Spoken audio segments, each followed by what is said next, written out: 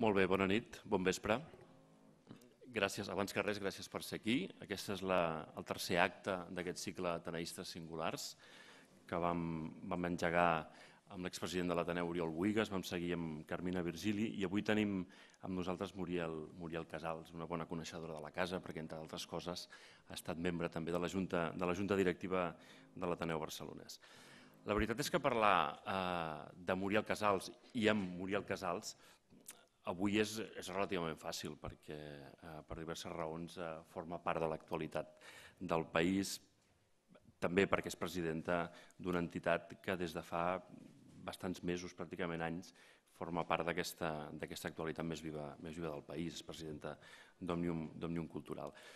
Això potser té algun risc, eh, que és que l'actualitat, la, el moment actual, pugui amagar altres coses que efectivament el personatge també ha fet i que la Muriel té una llarga trajectòria i un llarg recorregut. Avui intentarem parlar una mica, parlarem també d'Òmnium Cultural, per descomptat, però intentarem parlar d'algunes d'aquestes coses que remarcables que també ha fet Muriel Casals i, li demanarem que ens, ens expliqui alguna, alguna d'elles. No?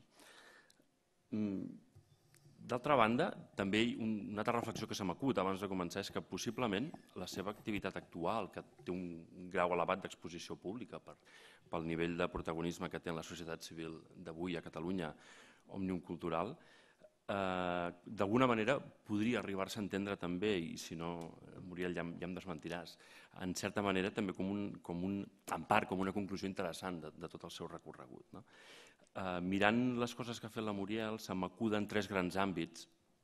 Un és la, la seva vida acadèmica com a, com a economista i des del món de la, de la universitat, eh, també la seva participació, la implicació política com a militant d'algun partit i també amb activitats concretes molt vinculades al món de la política i, i en tercer lloc, la seva activitat com a part eh, activa i, i protagonista en bona mesura de la societat civil. No?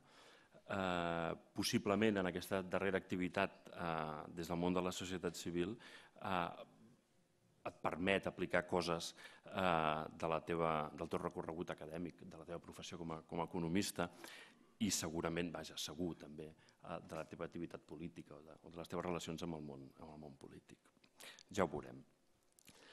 Muriel Casals va néixer a Avinyó, a França, el 1945. De fet, el, als seus primers anys la Muriel va, va créixer amb el bilingüisme, però no el bilingüisme més habitual en el nostre país, sinó el bilingüisme entre el català i el francès.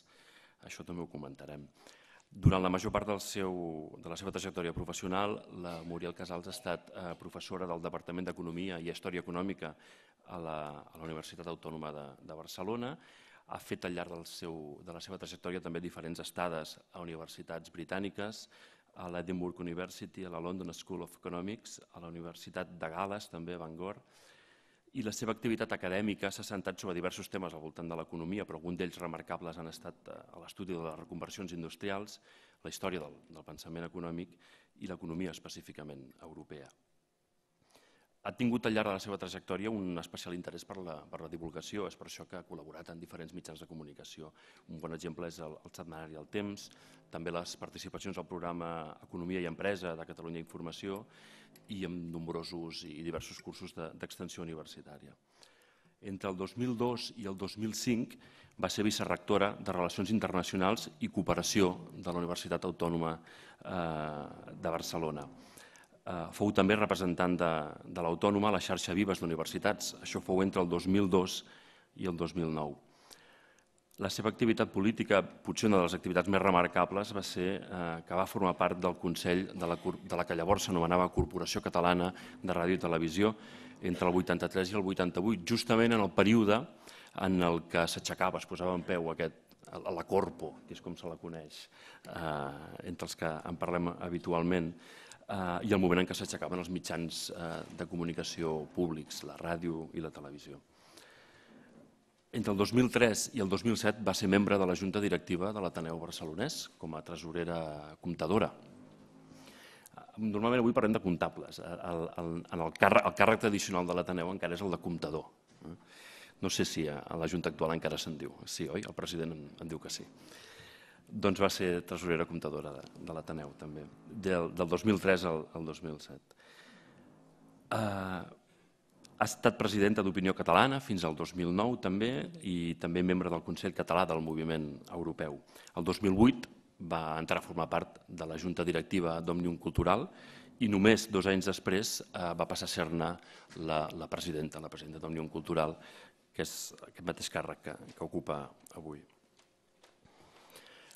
Muriel, per engegar la conversa, si et sembla, després d'aquesta mica de repassada. A mi hi ha una primera cosa que, que, em, que em fa una certa gràcia del recorregut i és que eh, hi ha com una dualitat. D'una banda, tens, es veu per les coses que has fet una vocació d'internacionalització, de, de, de sortir cap en fora, de veure, de conèixer, però, de fet, la, la teva activitat actual es basa fonamentalment en la reivindicació dels drets del, de la terra que trepitges, del lloc, del lloc on ets, no? en, en, en el reconeixement identitari i cultural del país. Per tant, són, són dues posicions òbviament no contradictòries, però que suposen un cert contrast. No? Com, com ho vius o com, o com es viu eh, aquesta, aquesta dualitat? No sé, trobo, trobo que és divertida la, la manera que ho planteges, perquè Eh, és veritat que a vegades hi ha, hi ha gent que sembla que, que vulguin classificar-nos entre els internacionalistes i els molt nacionalistes d'una nació concreta. Els localistes diuen, no? O, o locali... ah, llavors diuen localistes perquè té un to pejoratiu, no? Eh, ara quan he dit això m'ha passat pel cap el Pierre Vilar, no? Que deia no podeu ser universals si no teniu unes arrels locals molt sòlides. No? Això, bueno, Pierre Vilar ho deia i per tant l'escoltàvem amb veneració, ho recordo, però suposo que molta gent assenyada ho, ho diu.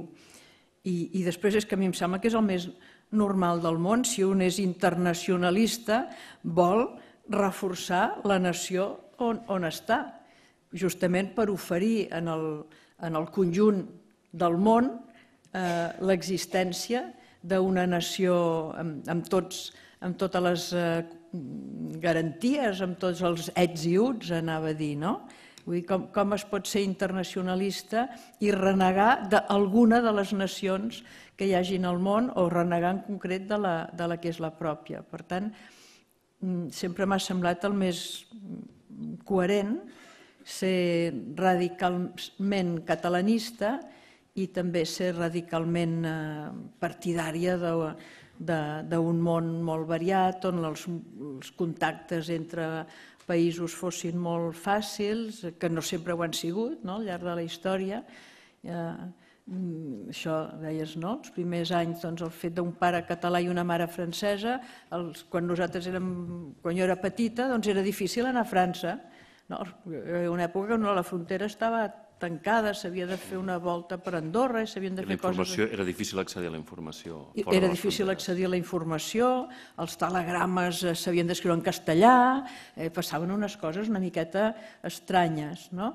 Per tant, és que veig molt, molt lligat el, la, la reivindicació catalana i catalanista amb la reivindicació internacionalista. O sigui, els, els localistes són els que Uh, no sé, els altres. Molt bé, per tant, és complementari. El fet de, eh, com deia al començament, eh, que tu vas viure el bilingüisme, vaja, a casa, però no entre el català i el castellà, que és el que, diguem, dominant a Catalunya, sinó entre el català i el, i el francès. Com, com es viu això? O com, en el context actual, eh, serveix alguna cosa haver, venir d'aquí?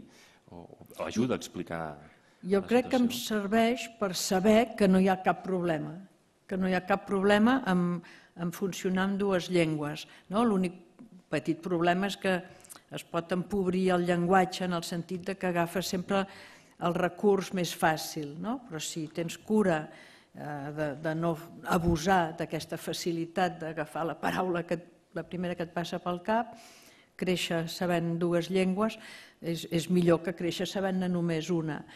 I que, i, que, I que dins de la família hi hagin dues llengües diferents, a casa meva jo no recordo que mai això fos, fos problema. El castellà, bueno, a més a més anàvem a l'escola en castellà, o sigui que eh, sí, hi havia...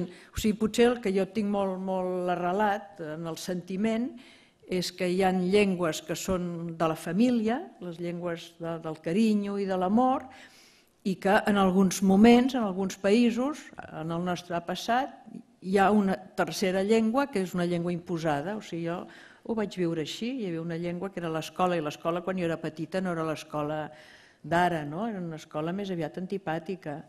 Mm, per tant, eh, bilingüisme benvingut i, i compta, molt compta amb imposar eh, llengües de, per, eh, amb motius fet, però, administratius. De fet, però trilingüisme, no? posats eh, per, per, per aquesta imposició. Esclar, mm. sí, sí. Molt bé. I, clar, tres llengües llatines, suposo que això és, molt, és més fàcil, no? no... Mm -hmm. Molt bé. Com a, com a economista, has dedicat la major part de la teva, o pràcticament tota la teva carrera a, professional a la docència, no? a, la, mm. a la universitat. Això, imagino que això també, que té, també marca, marca bastant el tarannà o la manera com, com afrontes els projectes fora, fora de l'àmbit acadèmic. No? Però també en alguna conversa recent que, que manteníem també m'explicaves que dintre del col·lectiu dels economistes, no sé si es pot parlar del col·lectiu dels economistes així tan, tan genèricament o en abstracte, tu sempre t'has posicionat una mica al costat de, dels economistes eh, que s'acostaven a la, a la ciència social, mm. que, que buscaven una interpretació de l'economia propera a la realitat o que mm. ajudés a interpretar també el, el dia a dia o la quotidianitat dels, eh, de, de les persones, de, de, dels ciutadans. No?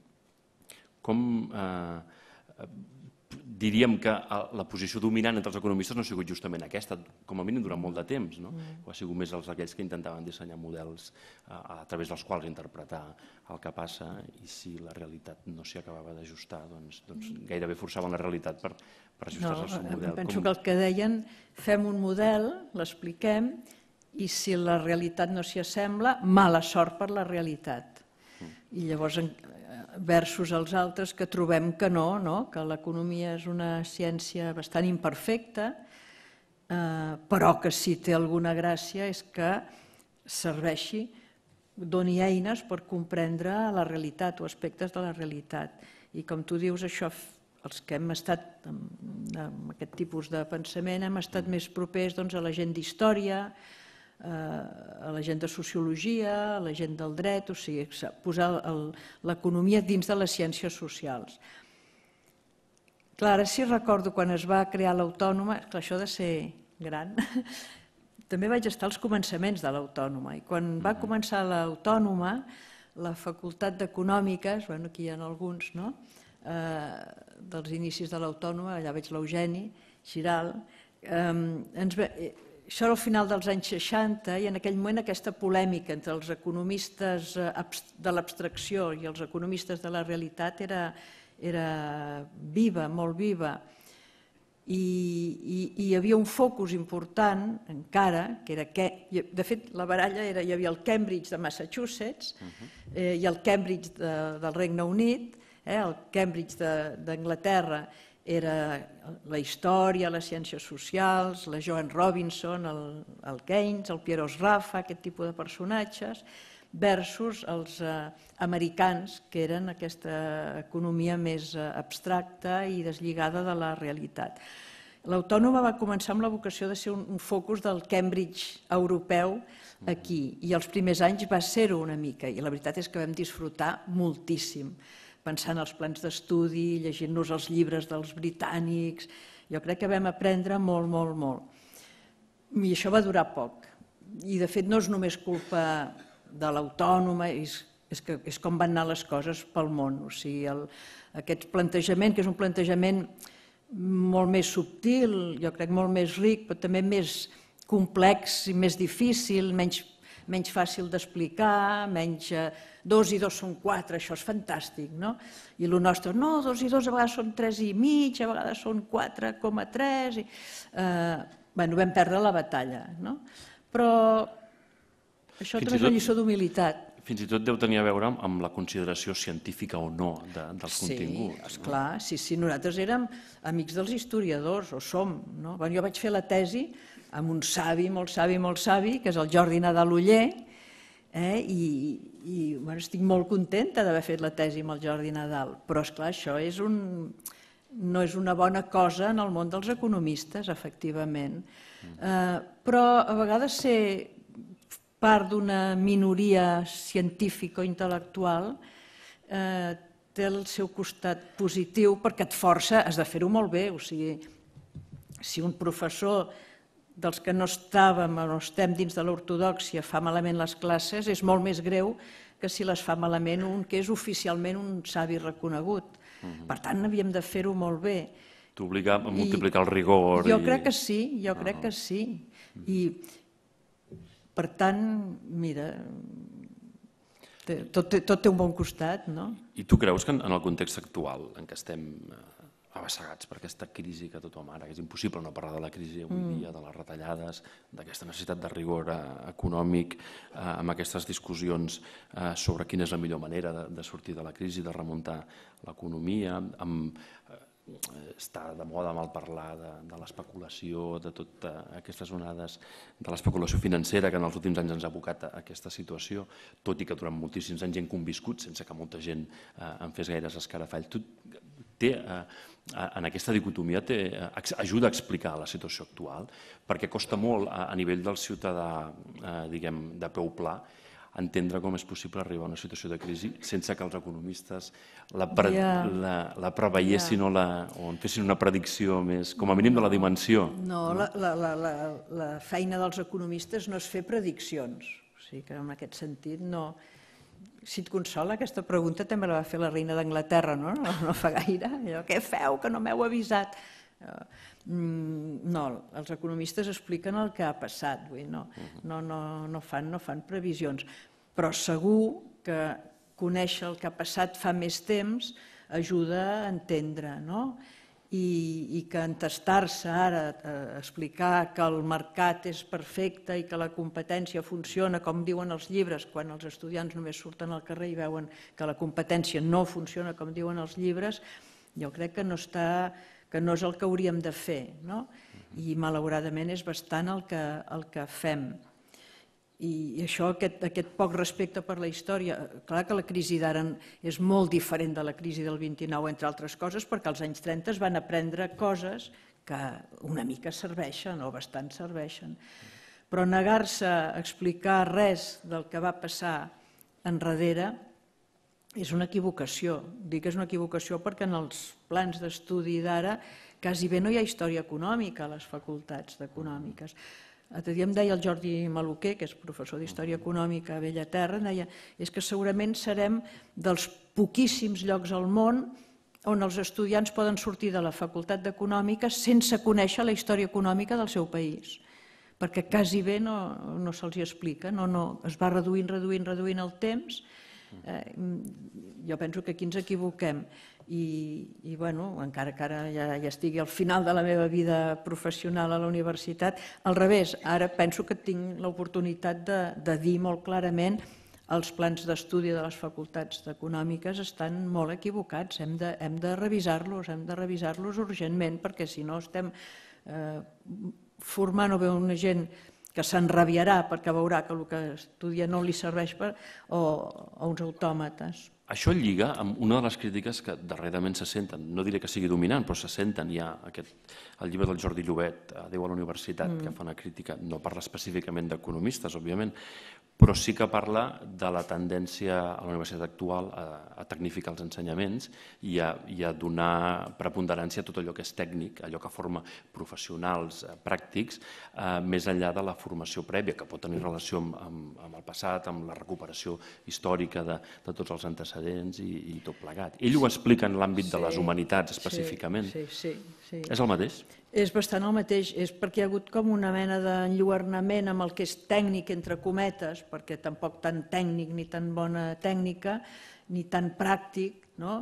Eh, segurament, abans parlaves del Mark Twain, Pilar, deu ser una frase del Mark Twain, que no hi ha res tan pràctic com una bona teoria, ho dic perquè quan no se sap qui, el Mark Twain ho ha dit tot, però és veritat, un, si vols ser un bon pràctic, necessites una base teòrica, per tant, això de formar... Jo crec que aquí hem sigut víctimes, i aquí ens aniríem a la reivindicació nacional, eh, quan hi ha hagut tot això del procés de Bologna, no? una discussió com refem els plans de les universitats a Europa per que hi hagi una homogeneïtzació que permeti els moviments d'estudiants i de professionals entre els països, la idea és molt bona, i es va fer una proposta que de fet era una proposta bastant britànica, que és la universitat ha de donar uns tres primers anys de cultura molt bàsica i molt genèrica i no ha de formar eh, el lampista. No? Si tu tens el cap ben posat, ja sabràs quan aniràs a, a treballar de lampista o de comptable com s'ha de posar el deure i B, eh? i el primer que has de tenir és una cultura general molt, molt bàsica, amb aquests tres anys i després dos anys d'especialització, que eren els màster. Llavors aquí van començar a haver-hi debats, es va enganxar aquest debat amb el debat espanyol i van dir que tres anys no podia ser perquè els professors necessiten quatre anys per explicar tot allò que saben. La vanitat dels professors és infinita. Total, no es va fer Bologna, es va fer Madrid. I llavors van haver aquelles revoltes dels estudiants que deien contra Bologna, no, no, estava, Bologna era el títol, però estàvem contra un pla que no era Bologna, era una traïció a Bologna, era el que s'havia manat des dels ministeris de Madrid, que és, un, que, és un, que és un engendro que no és, no és la proposta Bologna. És mantenir els quatre anys i llavors s'ha fet un embolic entre el que és tècnic i el que és teòric, confonent el que és la formació professional i el que és l'educació acadèmica, que, que ara no formem gairebé res. Clar, llicenciats en economia, ara és grau, no? Uh -huh. A Catalunya en surten més que amb tot Gran Bretanya cada any. Que ja es veu que no pot ser. No? El que hi ha d'haver és moltes formacions intermitges per fer gestors, per fer gerents, per fer mm, mm, gent de màrqueting, i tot això no cal que siguin els teòrics de l'economia, perquè hi ha gent que no en té ganes i no, i no cal que tothom en tingui ganes. I llavors la teoria econòmica i l'anàlisi econòmica i la història econòmica és una altra cosa, i nosaltres ho hem barrejat tot, ho hem posat tot junt, també, jo he dit la vanitat dels professors, també pensem que som un país de nous rics, és un país on en, en molt pocs anys les famílies s'han fet riques, bueno, aquests últims anys han dificultats, però, eh, i, i llavors tothom volia que el seu fill fos un universitari. No, ningú volia que el seu fill fos un tècnic i anés a la formació professional.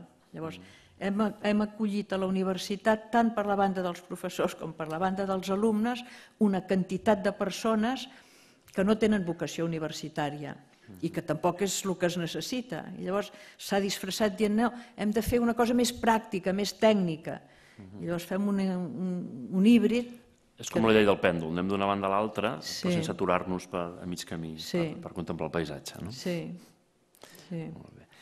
Muriel, he navegat una mica per uh, un blog que hi ha a la web d'Òmnium Cultural, el blog de la, de la presidenta, i he rescatat un, un petit text de, de mitjans del, del 2010 i si em permeteu el llegeixo ràpidament.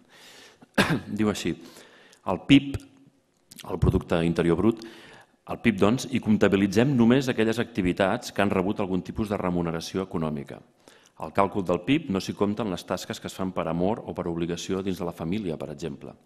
En canvi, hi ha una gran part del benestar de la nostra societat que depèn precisament d'aquestes aportacions voluntàries de treball no pagat.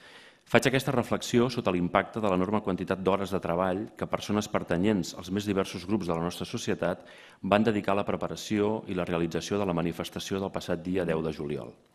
Hi va haver treballadors altament qualificats que van dedicar hores extres a grapar banderes, al costat de voluntaris que oferien un temps que hauria estat de lleure per atendre el telèfon i organitzar la moguda dels autocars, els que organitzaven les connexions entre diversos punts de la nostra geografia i un llarg etc.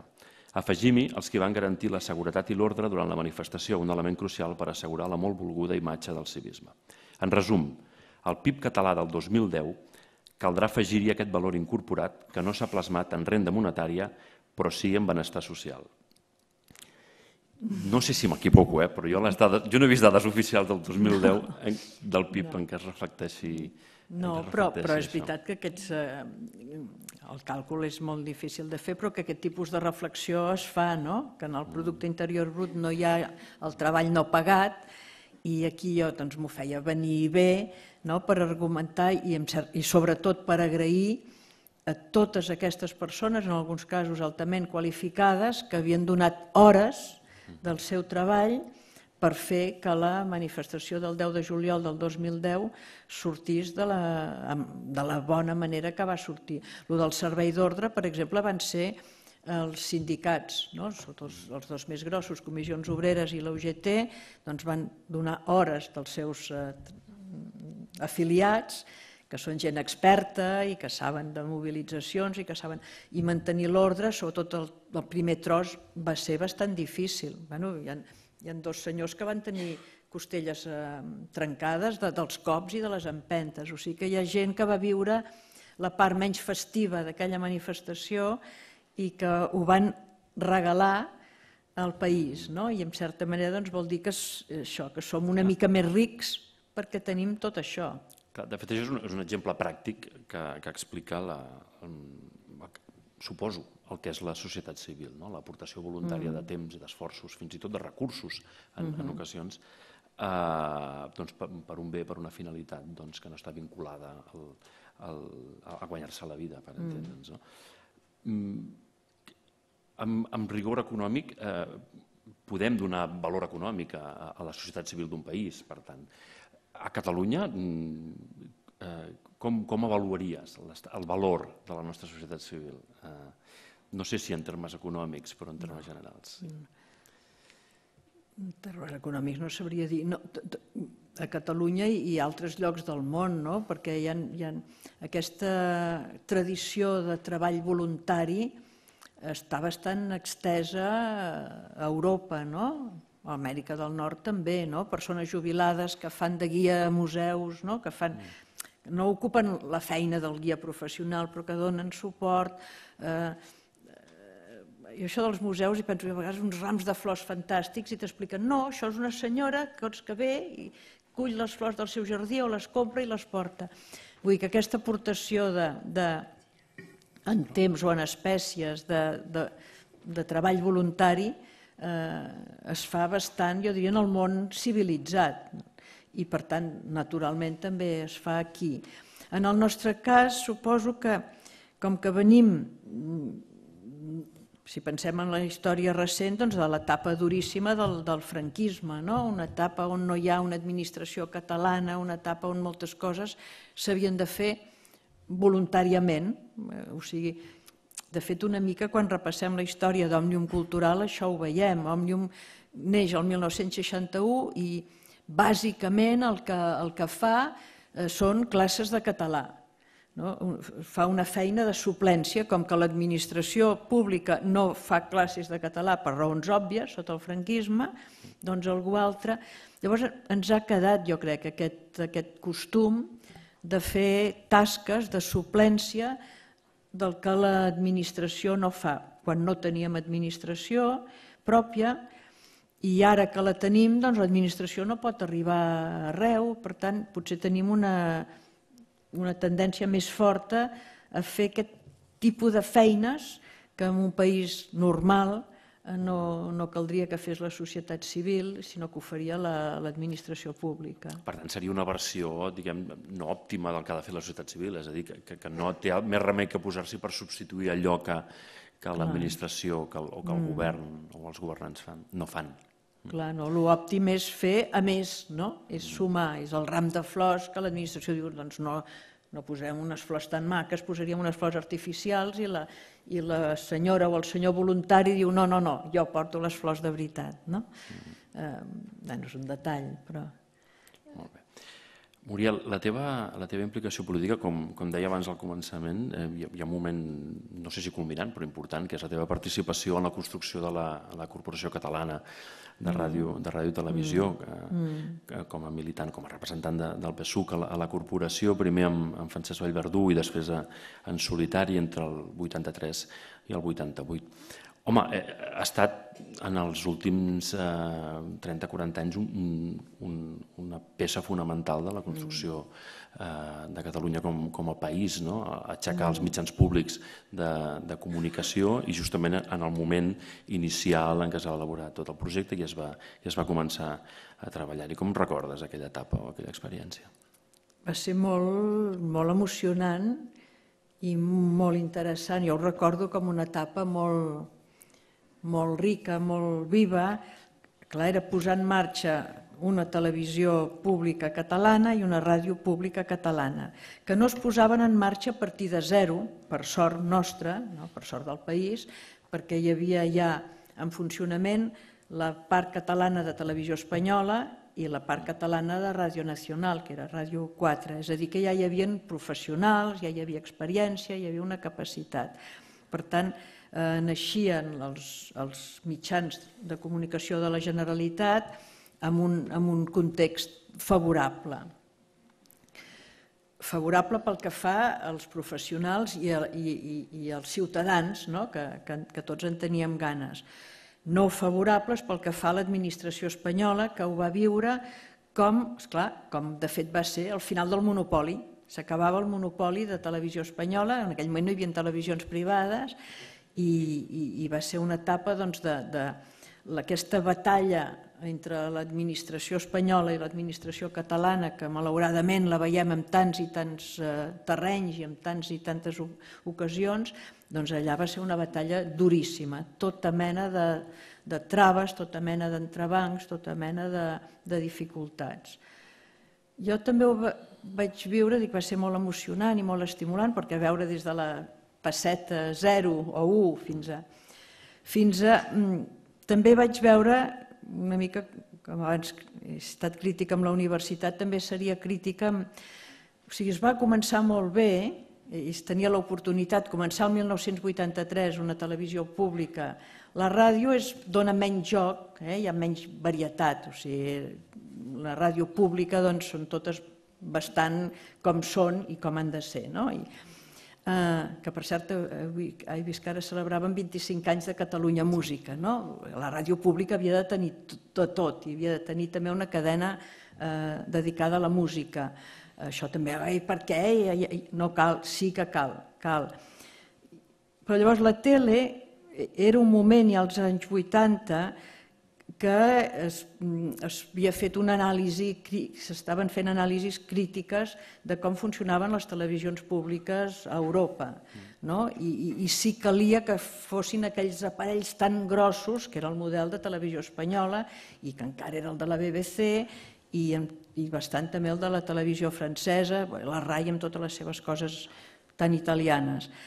Nosaltres teníem l'oportunitat de néixer diferent i per tant fer una televisió pública més lleugera, amb, un aparell menys important, amb menys personal a dintre i fent més encàrrecs a fora, eh, donant molt joc a la, a, la, a, la, a la indústria audiovisual del país i això no es va fer. Es va fer una combinació, de, de, jo diria, de, dels defectes de fer una maquinària grossa i dels defectes d'encarregar coses a fora. Es va fer una maquinària molt grossa que encarregava, encara ho fa, no? coses a fora, amb uns de fora que són mig de fora, mig de dintre, i en lloc de jugar amb el fet d'encarregar coses al mercat i donar força al, al mercat existent de l'audiovisual, doncs es va donar ales amb unes formacions oligopolístiques d'aquest mercat que es van inflar, que van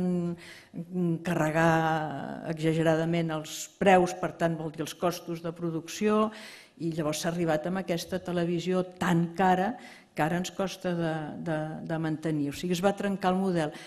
Recordo que el dia que es va inaugurar els, els locals a Sant Joan d'Espí, abans es treballava en un, primer en un pis petitíssim, diagonal Tosset, després amb un pis més gran a diagonal Numància, i per tant això es va inaugurar, no sé quin any era, era president el president Pujol, uh -huh. i en la seva intervenció recordo, això ens ho hem d'apuntar, i efectivament va dir, aneu amb compte que no resulti que ara amb aquestes grans instal·lacions treballeu menys bé que quan treballàveu en unes instal·lacions més humils. No? Jo crec que una televisió pública ha de tenir unes instal·lacions eh, bones. Eh? No, no estic a favor de l'esquifit. Però, mm, bueno, amb això també, abans he dit que érem un país de nous rics, doncs amb L'abundància fa eh? perdre de perspectiva alguns valors. L'abundància fa perdre la perspectiva, sí, del, del que costen les coses i sobretot d'aquesta possibilitat de fer una, un, de tenir un funcionament més àgil no, no, tan, no tan farragós. Ara, eh, ara hem de fer les mateixes reestructuracions que ha de fer la BBC o que ha de fer Televisió Espanyola, quan amb menys temps d'història no, potser no hauria, eh, ens hauria permès no, no haver-ho de fer. Era un moment de, de màxima polarització política entre, entre el govern de Convergència i Unió i el, i el PSC, el Partit dels Socialistes. I tu estaves allí mig, a la Això corporació. Ser, sí. eh, ho paties eh, o, en gaudia, o en gaudies? No, les dos. Ara faig una cara que, ui, això era molt divertit. A vegades patia, patia però, clar, jo estava allà pel suc, com has dit, no? Per tant, era la minoria absoluta. I, i, i em vaig sentir, pot semblar pretensiós, eh, però em sentia que jo era una ciutadana normal allà i que deia coses normals, el que sentia que em deien amics i amigues meves i coses tot, del tot normal, com per exemple que era normal que a Catalunya Ràdio o a TV3 se sentís la música d'una sardana, no? els que manaven en aquell moment trobaven que això de les sardanes era massa localista i que no, que una cosa és no voler ser localista limitat, una altra cosa és que no es pugui sentir una sardana, o la Maria del Mar Bonet, ah no, la Maria del Mar Bonet no, perquè bueno, feien unes coses bastant... Per ser moderns, perdíem... Eh, I, i llavors això, jo, bueno, mm, jo em sentia amb molta llibertat de, de, de dir-ho. Lo de la polarització, sí, clar, en aquell moment doncs, el govern era Convergència, per tant el director general de la corporació era nomenat pel govern i era una persona de la confiança de Convergència, i qualsevol cosa que deia el director general, els consellers de Convergència trobaven que estava bé i els consellers del PSC trobaven que estava malament.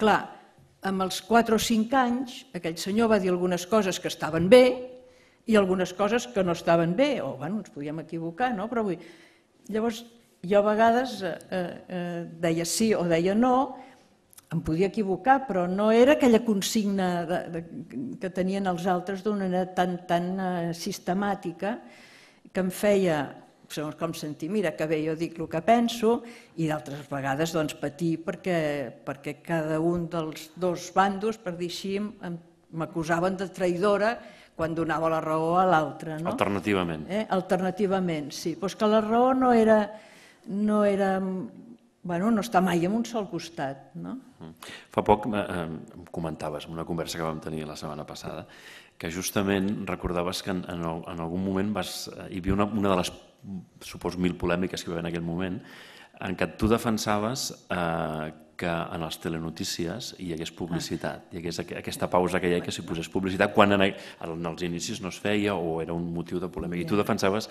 que es fes. Això eh, ho trec, ho trec ara perquè sí. és especialment pertinent sí, atès el, el debat polític que hi ha al voltant de la, de la limitació no? de, la, de, la, de la publicitat, publicitat en, sí. en la ràdio. No, em sembla que jo, el que et deia l'altre dia és que, esclar, que, és que com que el nostre país és estrany, molts hem fet coses estranyes i em sembla que et vaig dir, deu ser l'única vegada a la història de la humanitat, per fer frases, que un comunista ha votat a favor de que hi hagi publicitat en els, en els informatius d'una televisió pública.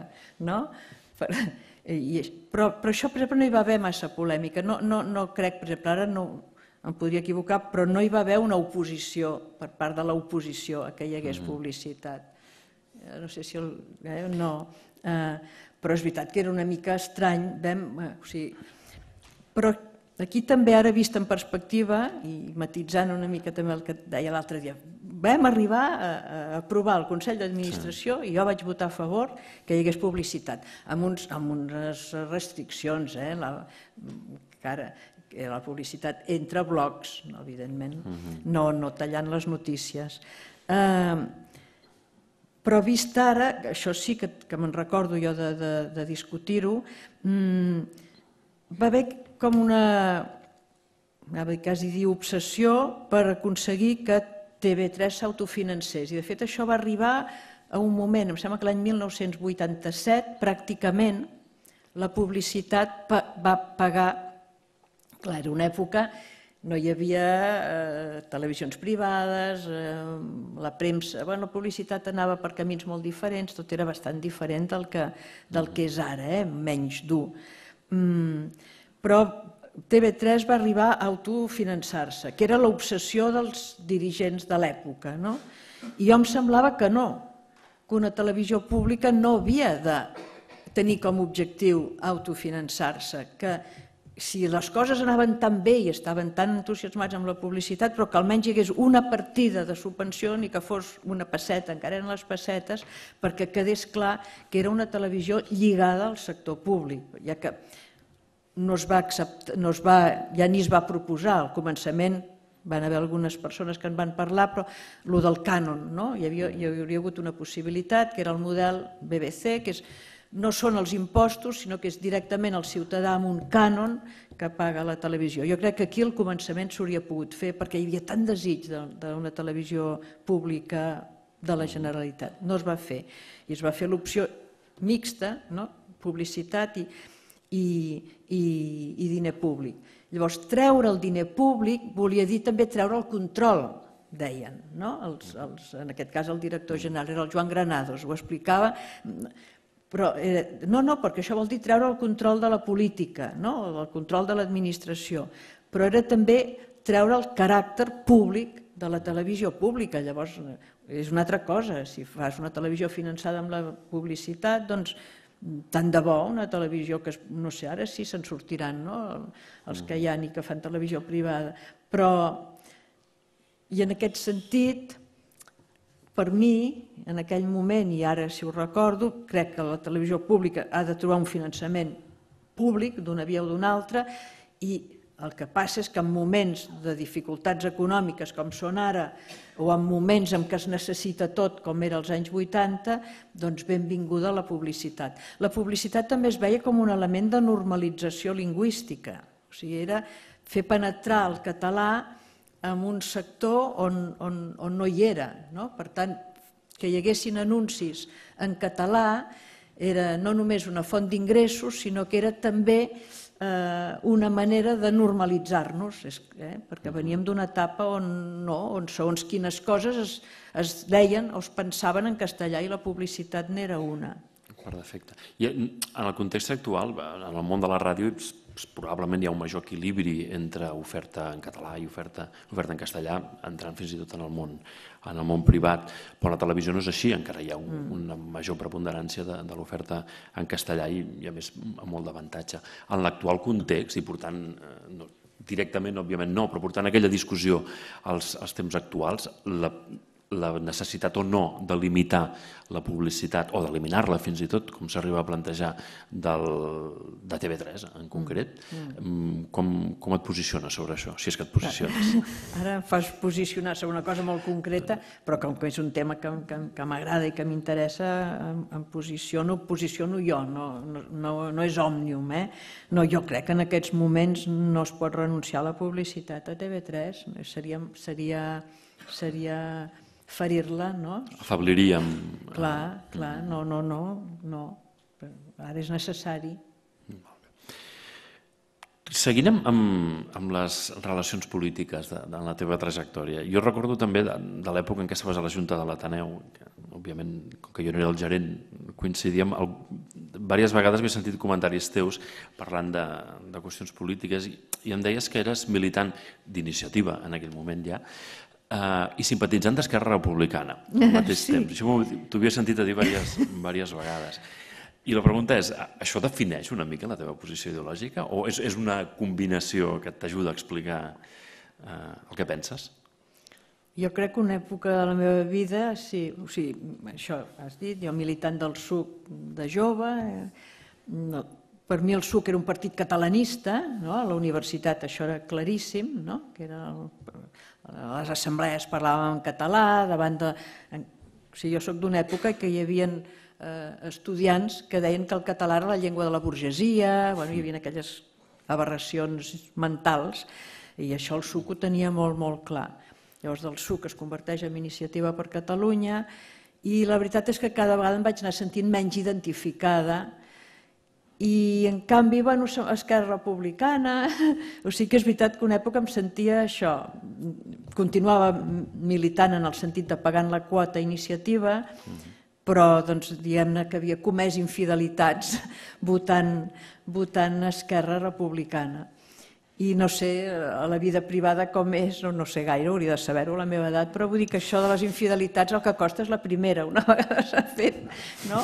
doncs doncs després he sigut, direm, diguem-ne que políticament potser una mica promiscua pel que fa als meus vots i les meves simpaties, perquè és que el món ara, el, i el nostre en concret, però el món en general està bastant més eh, barrejat del que ho estava fa, fa 25 o 30 anys. No? El que és de dretes i el que és d'esquerres és difícil de, de, de triar, de destriar moltes vegades. Sembla que no puguem parlar d'altra cosa que no sigui la societat líquida o de l'absència de veritats eh, absolutes. Sí. No sé si és això també aplicat a la política. Però n'hi han de veritats, no? El que passa que estan repartides, de, no estan repartides en blocs, però és clar que n'hi han, no? Ets partidari o no ets partidari, d'un procés fort de redistribució de la renda.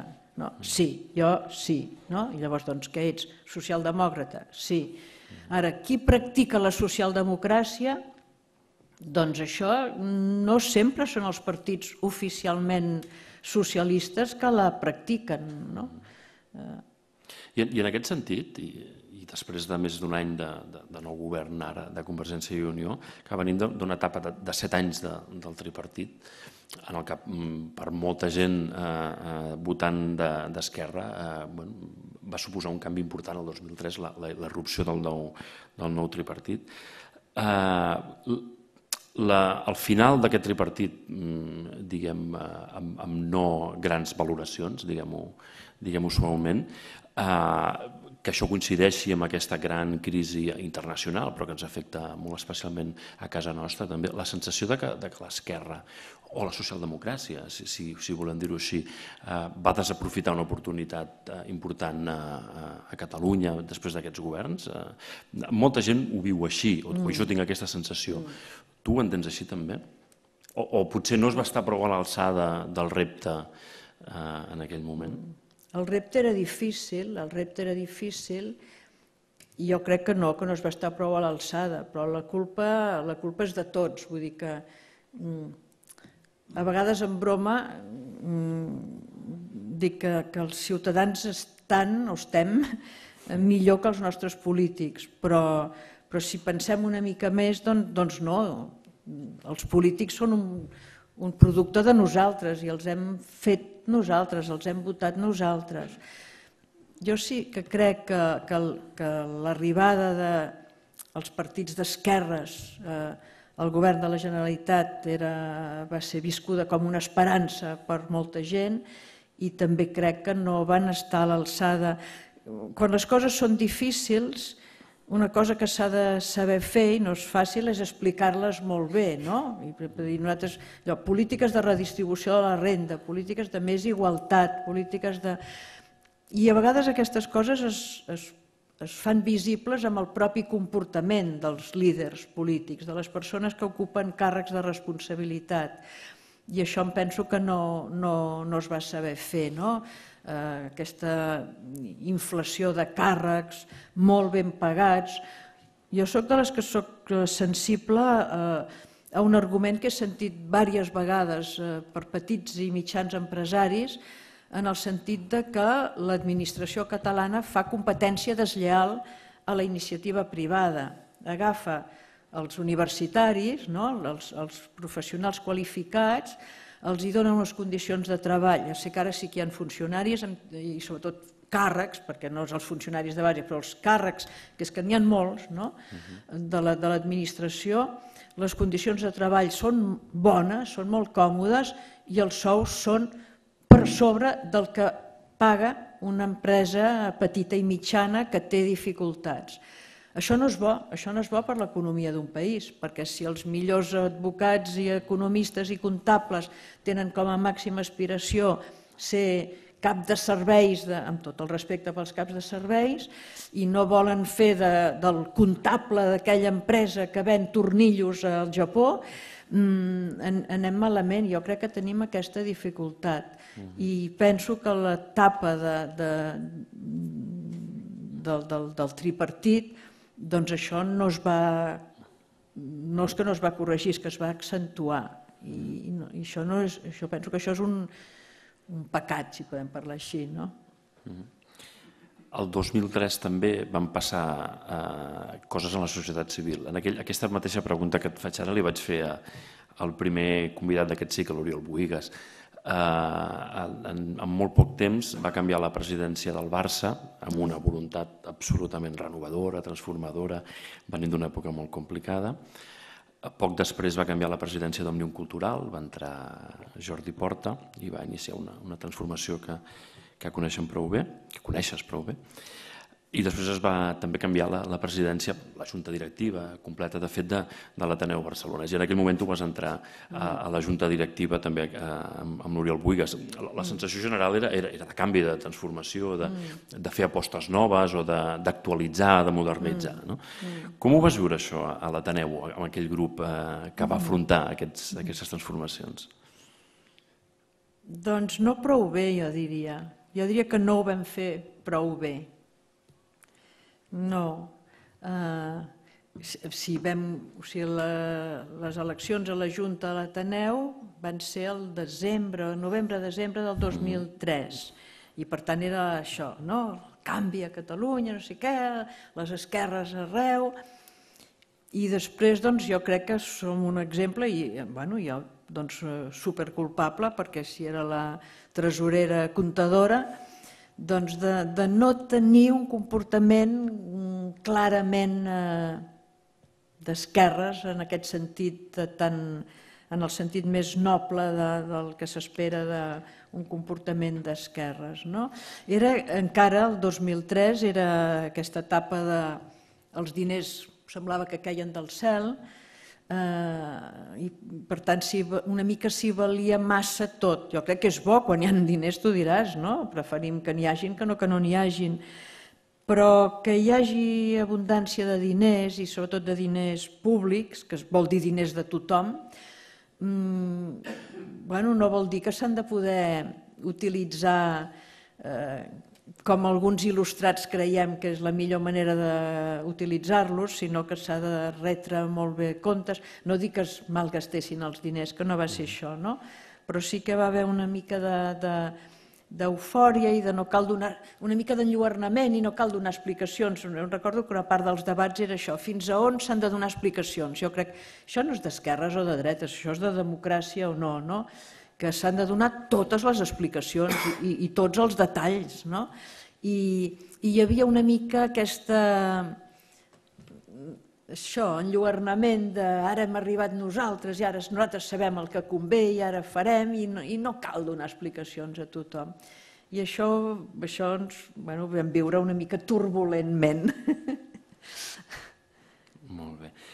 I vas fer aquesta etapa, aquests quatre anys a, a l'Ateneu, a la Junta Directiva, no, no vas repetir o, o no vas proposar-te per repetir en la Junta en les següents eleccions, però un any després de sortir de l'Ateneu vas entrar a Òmnium Cultural, també a la, a la Junta Directiva. És a dir, no en vas tenir prou de societat civil, diguem-ho així, sí, sí, sí. a Òmnium Cultural. I al cap de dos anys amb l'Òmnium Cultural que, que Jordi Porta havia, havia transformat i havia, mm. i havia elaborat un nou, un nou projecte. I dos anys després, quan Jordi Porta va deixar de ser el president, vas, vas entrar tu com, com a presidenta. La veritat és que el, el nivell d'exposició pública eh, de, implícit en liderar un projecte si hagués estat en l'Ateneu segurament també, en Òmnium especialment i, i més amb els temps que, que, vindrien, que vindrien després d'una manera bastant, bastant immediata, a, a, mm. després de la teva entrada com a presidenta. Mm. Um, com ho vas viure això? O què et va empènyer a, a fer el pas, a, a, a fer el pas d'aquest nivell d'exposició pública, diguem-ho així, doncs remarcable, formar part d'una junta directiva, formes part del projecte, però en el fons et dona un cert un, no diré d'anonimat, però un, mm. et posa mm. en, un, en un segon pla, mm. amb no tanta exposició. Què et va, què et va dur a fer aquest, aquest pas, aquesta passa? Ni, ni jo ho sé gaire, eh? a vegades les coses passen, t'hi trobes, no? I, eh, jo diria que una gran part de les coses que he fet a la vida eh, s'expliquen per amistat. Són els amics que, que, que, que m'empenyen o que m'estiren o que, i que jo m'hi trobo bé. No he fet mai res per... Bueno, mai no però vull que són coses que les he fet de gust, eh? no, no per força. Uh, la Junta de l'Òmnium, bueno, al voltant del Jordi Porta, era una cosa molt natural i molt bé, molt bé. Al moment de buscar el relleu del Jordi Porta, mm, que és això, bueno, lo de l'exposició pública té a veure amb la manifestació i tot el que va passar després. Després també m'agradarà dir que, és clar, l'Òmnium, la cosa aquesta molt visible, però també hi ha la part no visible, que ara m'està tocant una part no tan simpàtica perquè és una part de menys diners, una part, per tant, també que hem de... El que he dit que, que havia passat aquí també va passar a l'Òmnium, no? de que els diners venien amb una certa facilitat, hi havia subvencions, ara no, per tant, ara és una etapa més, més, uh, més dura en aquest, en aquest sentit. Lo del relleu del Jordi Porta, mm, bueno, i, i la gent que hi pensava, que no, jo no era dels de la primera fila qui pensaven, primer pensaven en buscar algú una mica més, anava a dir, més glamurós, més, eh, una persona ja brillant, coneguda a la societat civil, una persona... Això va ser difícil perquè, perquè són feines, bueno, com la presidència de l'Ateneu, que són feines voluntàries i que demanen molt temps. Per tant, una persona que tingui molt temps eh, sense retribució això limita i fa que ha de ser una persona d'una certa edat, algú que ja està al final de la seva vida professional i personal. No? Si estàs eh, guanyant-te la vida o tens criatures petites, doncs, per tant, això ja va. Després, una altra condició que van dir, que penso que és molt bona i que, bueno, que és mm, la persona que, estigui, que està al davant d'Òmnium no ha de ser algú que esperi, en aquell moment van dir, que no sigui ningú que aspiri a ser conseller. bueno, ni conseller ni director general. És a dir, i això lliga amb una cosa que has dit a la, quan m'has presentat, no? Que, que és clar, donada l'edat, i, o sigui que estic al final del meu recorregut personal i que la presidència d'Òmnium és la, una culminació, per mi és fantàstic, és una cosa... Però això també, el fet de, de tenir una edat que ja no m'aniran al darrere per fer no sé què, eh, això era bo, jo crec que és bo per, per, per Òmnium, no? Mm. perquè ha de quedar molt clar que aquestes entitats de la societat civil no són instrumentalitzades i no, eh, no són eh, per, per, per, per altres coses, amb, amb tot el respecte per la política, no? però els polítics fan la seva feina i nosaltres fem la nostra. I no hi ha d'haver massa creuaments ni massa interferències. Per tant, d'una manera quasi natural, ser gran, estar disposada, disponible, tenir la família col·locada, no? Eh, estar, bueno, a la universitat, com sabeu, un s'hi pot estar fins als 70 anys. Mm. Eh, jo m'hi hauria estat fins als 70, segur, però bueno, doncs, doncs m'he retirat una mica abans, però també ens permeten retirar-nos i, i guardar-hi un peu, o sigui que tenir tot de circumstàncies que anaven a favor. Que vas, vas passar a ser president al març del 2010 i el juliol Òmnium eh, eren el rovell de l'ou en el centre de, d'aquella manifestació eh, mm. que sortirà, ja podem dir-ho, als llibres d'història de, de Catalunya, ah. jo crec. Amb, amb, no sé, amb la història és dura. No? En tot cas, de moment, ha, ha fet prou Això era un compromís jo... de la Junta anterior, és a dir, jo havia mm. resat a tots els sants perquè, la, perquè saber, quan, si hi ha una sentència desfavorable, Òmnium s'ofereix per fer de paraigües i organitzar la resposta. I perquè, aquella, perquè la sentència, que es va esperar no sé quant temps, fos durant la presidència del Jordi Porta, que és el que havia tingut la idea i el que... Però la, la, la sentència es va fer esperar. Sí. Dient que vas arribar al moment just. Eh? Sí, va ser en, molt fort. La, la prèvia per això de la manifestació va ser molt complexa, molt llarga i amb un rosari de negociacions eh, polítiques molt importants sobre quin havia de ser el lema, qui havia d'encapçalar, si havia de ser el govern, el president de Catalunya o quin paper havien de tenir els partits de, de l'oposició i, i, amb quines, amb quines condicions. Òmnium, no sé si podem dir que va ser el, el desllorigador de l'embolic, però va estar en, en el centre d'aquells espais mm. i moltes vegades possiblement fins i tot amb un cert paper de mediació. És així, va, va ser el catalitzador òmnium d'aquella manifestació. Mm. Catalitzador és la, jo crec que és el concepte, no? És, allò havia de passar, estava passant i era només afavorir-ho.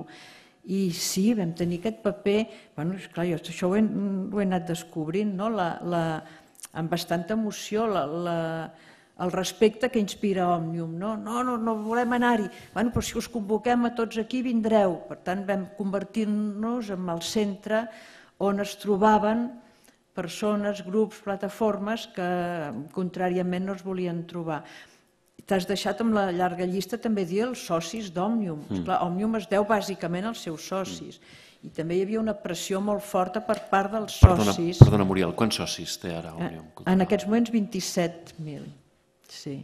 27.000 i el que té gràcies que estan escampats per tot el país. O sigui, Òmnium té 27, també 27 seus en diferents eh, punts del territori, el que permet aquesta participació i aquest protagonisme de, de tothom. No?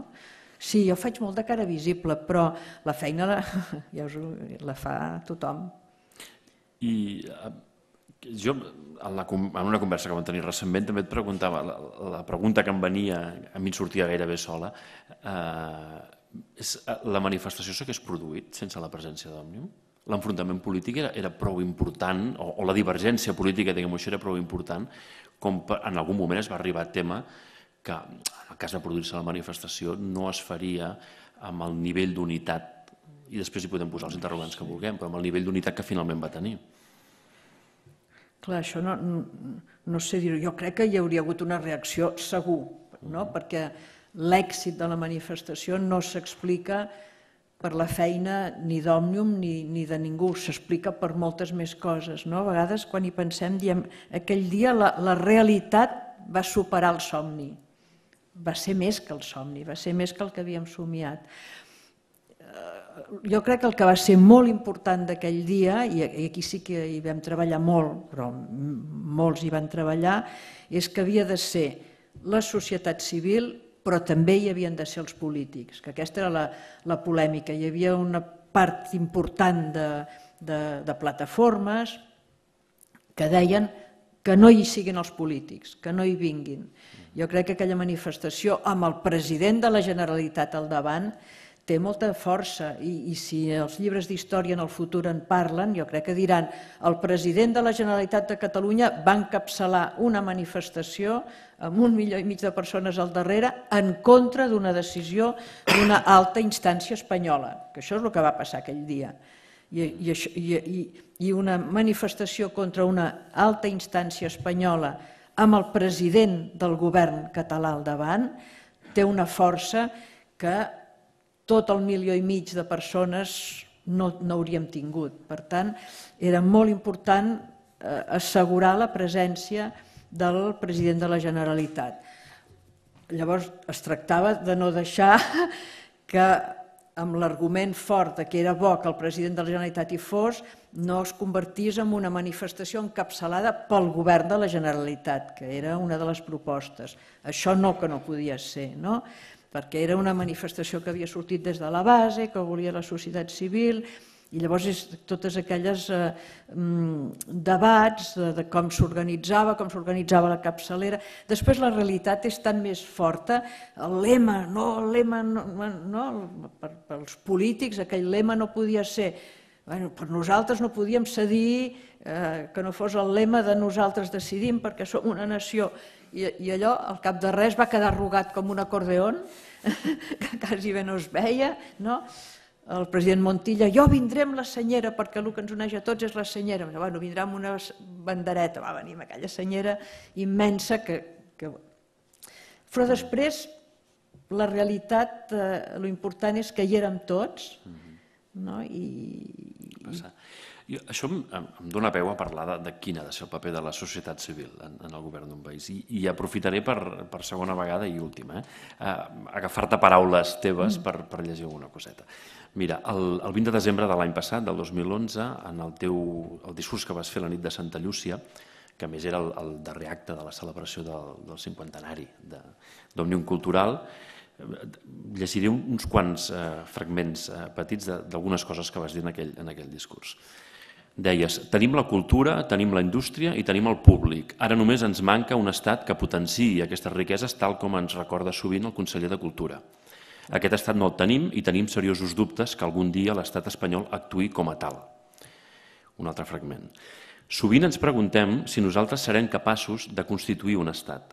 La realitat ens demostra dia a dia que no podem aturar-nos. Hem de treballar com si fóssim un país normal amb un estat normal. Un altre.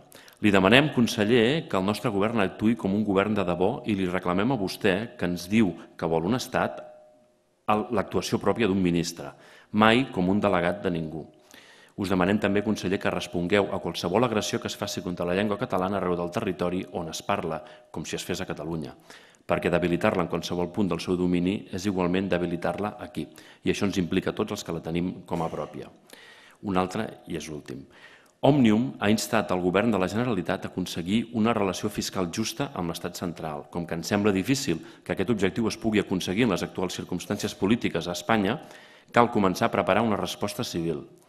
Per això Òmnium ja treballa en l'objecció fiscal. La societat civil ha de reaccionar. No podem quedar-nos impassibles quan el govern de l'Estat es burla del nostre govern i incompleix amb escarni els seus compromisos. Hem de demanar a la Generalitat que es mantingui ferma, que reaccioni amb intel·ligència i duresa. També hem de demanar als catalans que facin costat al seu govern. L'apel·lació directíssima al, al govern és, és constant i múltiple i per, i per molts temes. No? Mm, aquest és el paper de la societat civil en relació al govern, en relació als seus governants, als seus representants sí, polítics? Sí, jo crec que sí. Jo crec que la, el paper de la societat civil és reclamar dels seus representants legítims que, que donin satisfacció a les, a les demandes que sorgeixen de, de, del carrer, de les organitzacions, de les, de les entitats, de, de les empreses, dels sindicats. Jo crec que sí el qual no vol dir que haguem d'estar sempre interlocutant eh, el govern. Vull dir que mm, moltes vegades, ara penso en Òmnium, el que hem de fer és una feina del dia a dia, que és la que no surt, que és la que no es publicita, no? Eh, organitzar activitats amb els immigrants perquè aquestes persones eh, s'incorporin plenament com ciutadans catalans i perquè els catalans els acollim i fem, eh, eh construïm el futur del nostre país, totes aquestes feines. Però jo crec que l'estar vigilants, i pel cas del tema de la fiscalitat, no? que és el que darrerament ens, hem, ens hi hem posat mm, molt, mm, nosaltres tenim una doble feina com a entitat civil, com a societat civil i com a ciutadans. Un és estar alerta de quina resposta donarà Madrid davant d'unes demandes justes per part de la Generalitat de Catalunya i dues, està molt alerta davant de les possibles febleses de la Generalitat de Catalunya perquè al llarg de la nostra història recent que ens ha passat que sistemàticament ens venia el conseller d'Economia dient he aconseguit el millor eh, sistema de finançament. És clar, cada vegada aconseguia una mica millors, que si no ja podia plegar, no? ni, ni, ni el, ni el no menys qualificat no aconsegueix millorar-te una mica la cosa quan, quan el crides. Per tant, cada vegada anaven millorant, però ara ja no es pot millorar, ara s'ha de canviar el sistema. No? Per tant, si la Generalitat té la tentació de tornar a dir hem aconseguit una petita millora, Eh, nosaltres estem en, en contra. Sí, sí, per tant, eh, és una mica aquesta interlocució que dius, no? que hem d'estar vigilants. Eh, què, què donen? Què, què donen? Què cedeixen eh, de lo que se'ns deu eh, des, de, des del govern central, però també hem d'estar molt alerta que el govern de la Generalitat eh, estigui ferm en reclamar el que, el, el que ens està dient que, que, que ha de reclamar. Clar, I exercint eh, aquest paper a la, la societat civil, que hi ha una pregunta que, que m'apareix. No? Mm, eh, l'opinió pública és ampla, diversa i, i complicada d'interpretar. La pregunta és com s'interpreta. Uh, el darrer exemple d'acció, diguem, molt interpel·ladora del govern és aquest que, que explicaves, no? aquest, aquesta possible opció a la insubmissió eh, fiscal. No?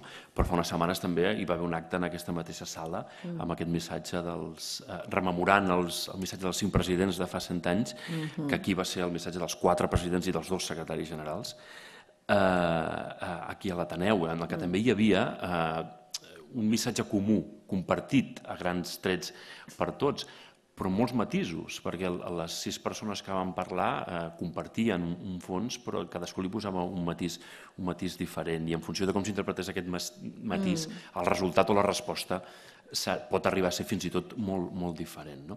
Aquesta dificultat d'interpretar la societat civil eh, doncs, se'm planteja que potser és el gran dubte. I, I també recordant una cosa que em deies fa poquet eh, i posant en la pell del polític, o del responsable polític que té eh, responsabilitats assumides en aquest moment, veure el passeig de Gràcia ple de gent dona un cert vertigen.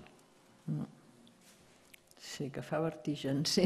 Com, eh, com imagines la, que ha de ser la resposta de, del polític a això? Perquè, d'altra banda, hi ha el risc que totes aquestes grans mobilitzacions de la societat civil es quedin en poc o en no res, o, o que decebin.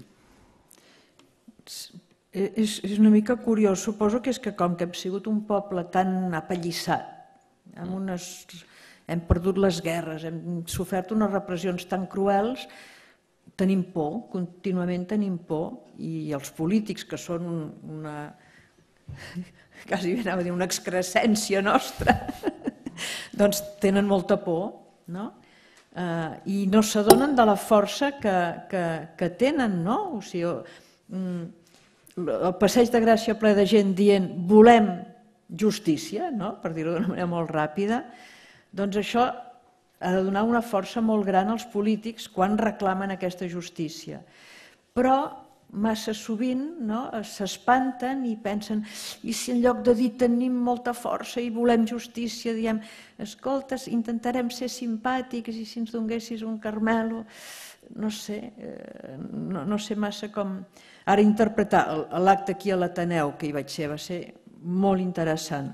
Sí que matisos verbals, però el contingut, ja vaig entendre que hi havia un acord molt gran, no, unànim, no pensava que hi havia acord, que només entenem com pacte acceptable en aquests moments un pacte eh, eh, que impliqui que la Generalitat recapta tots els impostos.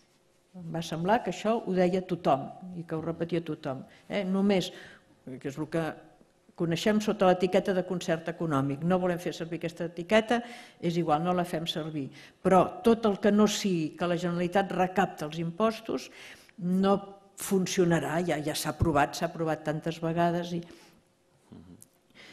I llavors, en aquest sentit, quan has dit, bueno, és clar, no és insubmissió, és objecció en el sentit de que no és dir no paguem impostos. Volem pagar impostos a la Generalitat, no els volem pagar a la hisenda espanyola. Davant d'això, la Generalitat també té una, una, una força molt gran. Es troba que els seus ciutadans li diuen et vull pagar els impostos a tu. És clar, és difícil que ens diguin no, no, no, no, no els volem, envieu-los amb aquells altres, que els malgasten més a més. Però encara que no els malgastessin, és una qüestió de justícia. Per tant, eh, podem dir que a Catalunya la societat civil està empenyent el govern al sobiranisme? Podem dir-ho. Sí, podem dir-ho. No? no sé si l'està empenyent o l'està estirant, però sí. Però això ja passa, no?, moltes vegades. Assumint que les comparacions són la majoria odioses, eh, se me n'acut una, que és amb Escòcia. El que està passant allí ara és, és francament diferent del que està passant a Catalunya. És a dir, hi ha un, hi ha un partit eh, que està en el govern, que ha estat majoritari, que ha guanyat unes mm. eleccions amb un discurs clar de, de, mm. a favor de la independència mm. i amb la seva actuació eh, des del govern està clarament encaminada en aquesta, mm. en aquesta direcció. No? Mm. Eh, comparat amb Catalunya, assumint eh, mm. que no hem de comparar, no. Eh, o no gaire. Allà és el eh, contrari, allà són els exacte. polítics que estiren els ciutadans, mm -hmm. i aquí són els ciutadans que estiren els polítics. Mm -hmm. No sé què és més sòlid, cada ús cada un. No? Jo crec que en el nostre cas, el dia que els polítics vulguin fer servir la força que els hi dona que tants ciutadans estiguin al seu costat si fan un pas endavant, eh, això és, és, molt, és molt important. Mm -hmm. Hi ha, hi ha algun moment en el que aquest paper de la, de la societat civil, segons creus tu, eh, hagi de substituir l'acció dels, dels governants? No, mai. Jo crec que en democràcia la societat civil no ha de substituir els governants. No. No, estem en una democràcia i per tant els representants elegits són els, són els que han de fer l'acció política. I per tant, què ha de fer la societat civil en un context de, de descrèdit de l'activitat política, o com a mínim allò que públicament se'n diu mm, descrèdit. Mm. O, no sé si de l'activitat política mm. o, de, o dels polítics eh, concrets, o quina ha de ser l'actitud respecte a aquesta mm. idea. no, no apuntar-se a la cosa aquesta del descrèdit de la política, perquè això és dolent. Els més grans sabem que el descrèdit de la política és la no política i això és el feixisme. No, no. Ser crítics, eh? Però ser crítics i això, estirar, empènyer, treballar, la, eixamplar la, la, el coneixement, la informació dels ciutadans, jo dic que som molts els ciutadans que ens adonem de què passa i, i, i que les circumstàncies no poden seguir pel mateix camí, però encara hi ha molta gent que, que, que no ho sap o que no té ganes de saber-ho, però alguns tenen ganes de saber-ho i no tenen l'oportunitat, per tant hi ha molta feina de, de, de pedagogia, de didàctica, d'escoltar, potser de, de fer concessions, potser, el, potser hi haurà moltes persones que n'escolteu, ho veieu així, però no és ben bé així, és d'una altra manera. Per tant, per tant això és el que hem de fer. D'aprenentatge democràtic, de fet. Aprenentatge democràtic. Mm a mi gairebé em surt sola aquesta pregunta, després de tot el que hem comentat, gairebé em, em, em surt sola. I també sé que te l'han fet moltes vegades, també sé que l'has respost de maneres diferents i amb matisos, eh, però no sé si hi ha una única conclusió a això. Òmnium Cultural defensa la independència de Catalunya? Ah, uh, jo heredo del Jordi Porta una recepta que, que era Òmnium no, no es defineix com una entitat independentista. Òmnium treballa perquè el dia que hi hagi un referèndum es guanyi. A mi em sembla que és una manera de contestar bastant, bastant clara. Ara, és que en els últims dos anys eh, han passat moltes coses i, i, i la consciència de la, dels ciutadans, de nosaltres, de, eh, també ha, ha evolucionat més en el sentit de que anar utilitzant eufemismes, l'altre dia ho deia l'alcalde de, de Figueres, que no és un radical, sembla ser, no? És clar, és que utilitzem sobiranisme, anem utilitzant eufemismes perquè ens fa com por la paraulota, no? La, hi ha un amic, l'Alfred Bosch, diu, si ens fa por la paraulota, no? I, i fixa't que és, és el que ens passa, no? A Òmnium diem, independència fiscal, independència cultural, eh? perquè ens fa... Independència sense adjectiu... La independència no. sense adjectiu no la fem servir d'una manera rotunda i clara. En part també per respecte eh, a una part dels nostres socis que diuen compte amb, amb ser massa polítics.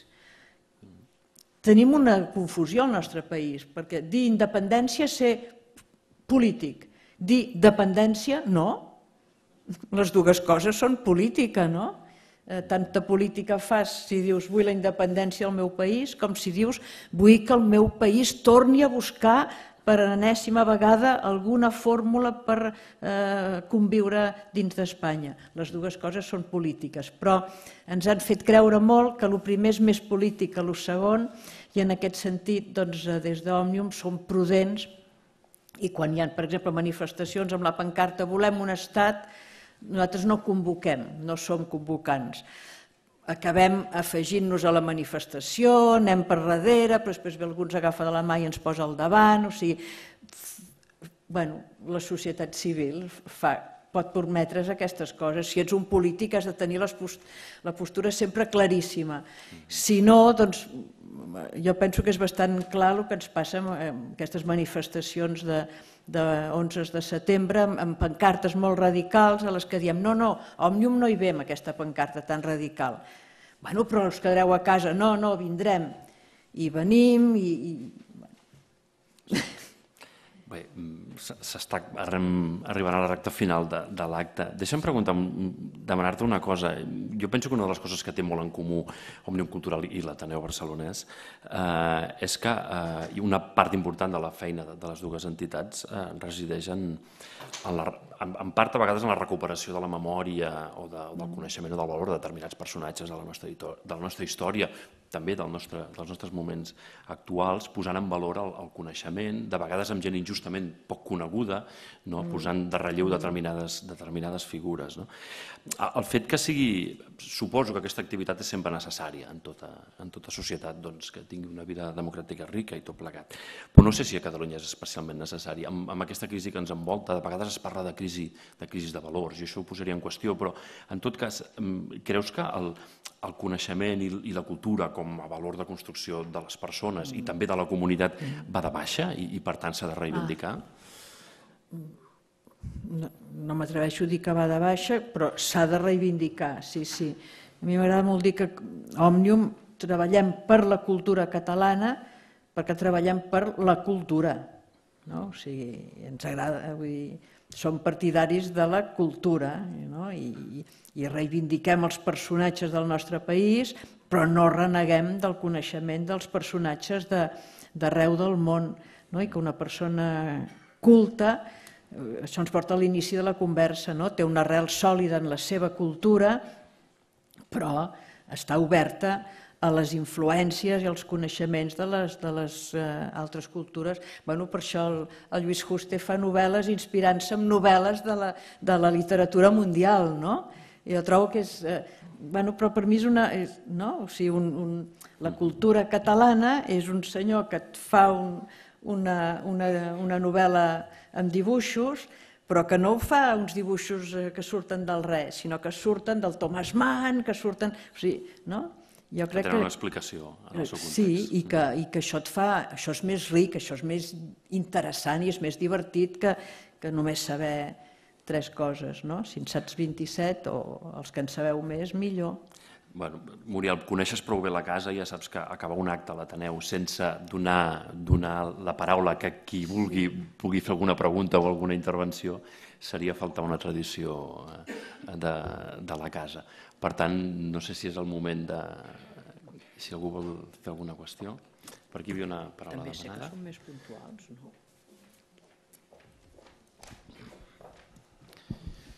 És per al senyora Muriel una pregunta solament i després una explicació. La pregunta és, vostès són elitistes? I l'explicació és que la, quan era a la vora als anys 2000 vaig reunir quasi uns 300 persones del Maresme disposades a entrar de cop a dintre de l'Òmnium Cultural. Em vaig presentar, vaig trobar una senyora que estava preparant els documents per una reunió, vam parlar i es veu que la paraula república li queia molt malament. Llavors jo l'endemà vaig a veure el senyor Esparticó, ara ho dic bé, caram, i ell va protestar, diu, no, no, vostès han d'entrar. Però quan el vaig tornar a veure cap d'uns dies ja es havia enrossat una mica enrere, va dir que ho acabaríem parlant, dic, deixo córrer que veig que a vostè no li interessa massa. Què li sembla les dues coses? La, la segona no, no, no l'he entesa bé. És, una, és un fet jo vaig però, reunir però, 300 persones del però, Maresme sí, per entrar. A Òmnium. A Òmnium. Sí. I primer el senyor Esparticó em va recolzar i després es va tirar enrere. Ell. Perquè la senyora que vaig trobar allà, que no recordo el nom, sí. eh, que es veu la paraula república no li caia gaire bé. I eh, la primera pregunta era si vostès són elitistes. Ali, uh, no sé ben bé què, què, què vol dir... Sí, uh, sí, sí. Mm, si vol dir si ens considerem una, una, una casta, una elit triada, separada de la resta, no. Si vostè vol dir una mica el que em deia ara el Pep Montes, nosaltres creiem que una societat necessita que hi hagin unes elits, unes persones que saben més, a les que podem admirar i, i aprendre d'elles, sí. Hi ha un llibre, ara no em recordo l'autor, d'un anglès, eh, que me'l vaig comprar pel títol, després l'interior no... Eh, la democràcia necessita de l'aristocràcia. I després a dintre explica que hi ha diferents formes d'aristocràcia. No sé què. Si vostè em pregunta si jo crec que una societat necessita alimentar-se d'uns aristòcrates de, de l'esperit, de, la intel·ligència, de la cultura, de la moral, sí, jo crec que sí, o sigui que no sé si... Eh? Que, i, eh? No, no, eh, eh, eh, volem viure en un país on hi hagin elits. Hi ha una altra pregunta aquí davant. Vol aixecar la mà, si plau, que la vegi la... aquí. Bona nit. No, dues petites apreciacions. M'ha preocupat molt el que has dit del paper dels economistes en la societat. Això de que només, només expliquen el que ha passat. Home, fent una, una caricatura diries que, s'ha mort un malalt i el metge l'únic que sap fer és dir és que s'ha mort. No? Jo penso que en els economistes la crítica està en que no han sigut capaços, o sigui, quan un banc fa eh, hipoteques eh, escombraries i les dona Urbi a Torbi, que els economistes no haguessin dit alguna cosa em sembla fatal. O sigui, això és el que li, se li reclamaria a l'èlit dels economistes, diguem. això és el que va fallar que, dir que, i, i, com a, i com a acudit, precisament dèiem això, no, és que els economistes és una cosa que s'estudia per explicar el que ha passat. Home, això com a xiste, i ho has dit molt seri, he pensat, ostres, m'ha preocupat, m'ha preocupat. Aquest és, un, és una pregunta, una, una qüestió. I després que, en aquest moment, el dia 10 de març, es constituirà l'Assemblea Nacional Catalana per la Independència, o per l'estat propi, eh, que penso que sí que pot ser un, un punt d'aglutinar tot això, d'aprofitar el, el, el 15 de juny, de, 15 de juny o de juliol, perdó, 15 de juliol, aprofitar tota una sèrie de coses i posar-les en comú i, i tot a sumar. I llavors, eh, en totes les reserves que, que, es, poden, que es poden pensar d'una iniciativa així, però sí que en aquest moment ja hi ha una cosa sobre la taula que el dia 10 de, de, de, de març es constitueix aquesta assemblea. Jo invito tothom que s'informi d'aquest tema i tal perquè pot ser una cosa molt, molt important. Sí, no? molt bé que això de l'assemblea, que la gent s'informi, que sí, sí, sí, com, com més coses millor, és veritat, no? i tot confluirà. Lo dels economistes i els bancs i les hipoteques, jo crec que són els dels Consell d'Administració del banc que han de vigilar a qui donen hipoteques. Llavors, si, si consideres que hauria estat bé o estaria bé que hi haguessin més economistes, en el sentit dels economistes de l'acadèmia, que observin el que passa i, i diguin això no va bé, doncs eh, tens raó, sí, sí, s'hauria de dir més. Això de que els pisos vagin pujant de, pi, de preu contínuament no és bo, potser s'hauria d'haver dit més, però pensa que això de que els pisos pugessin de preu eh, és culpa de tothom, no? A la que un acabava de firmar la hipoteca es posava a demanar el cel perquè el pis pugés de preu. O sigui que hi havia molta, molta gent interessada en que això continués passant. Molt bé, hi ha una altra pregunta, una altra veu demanada aquí, i aquesta seria l'última per acabar l'acte. Molt bé, Muriel. Eh, he admirat molt la teva versatilitat, versatilitat eh, d'acció i de mentalitat i tal. I eh, en quant a l'afirmació o possible afirmació de, del nostre país eh, vers la eh, possible independència, que pot ser en el caire polític, eh, en el caire també econòmic, com es diu així, també hi podria haver una forma d'afirmació i resistència directament cultural, que és la més suau i la que més es pot eh, admetre i que té molta força. Avui dia el que prima més i compta és, és l'economia abans que tot, però la cultura és quelcom molt bàsic en un poble i més quan està circunscrit o a l'entorn d'una llengua pròpia. Llavors tenim que dins d'Espanya, de, la nació espanyola, hi ha una tendència fins i tot del caire cultural de considerar el català una mica com secundari, com, com localista, com perifèric, com així. I com no... el mandingo. Eh? Com el mandingo. Sí, o el mandingo o, o, o una espècie de patulà, no?